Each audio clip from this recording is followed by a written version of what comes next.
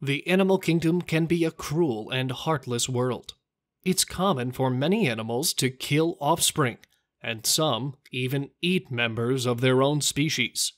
It's all part of nature, but for us humans, it's pretty disturbing to watch an adult male lion kill its own cubs, or a killer whale toying with a half dead seal or penguin.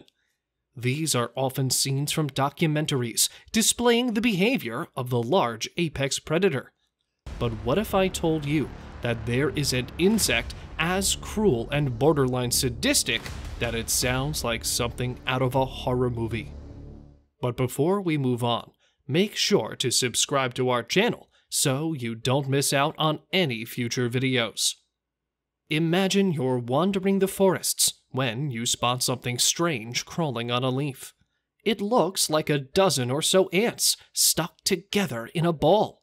But look more closely, and you'll see the ants are dead, and underneath there's an insect hauling these ants' corpses along like a miniature backpack. This is Acanthaspis petrax, a type of assassin bug found in East Africa and Malaysia. Like most assassin bugs, it hunts its prey by injecting saliva, which causes paralysis, and the tissues of the prey begin to dissolve. When the prey is paralyzed, it sucks out the soup of insect entrails. Pretty nasty stuff. But unlike other assassin bugs, the Acanthaspis petrax is not done yet. The cruelty has just started. After feeding on its prey, it uses the empty exoskeletons as armor. The insect can carry as many as 20 dead ants at a time and binds them together with a sticky excretion into a cluster that may be larger than its own body. Imagine seeing a lion walk around with dead gazelle bodies on the back.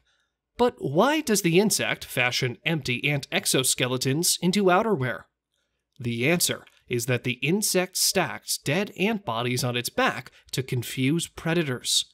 Research shows that spiders and larger insects preying on the Acanthaspis petrax have a harder time recognizing the insect when it's carrying dead ants on its back.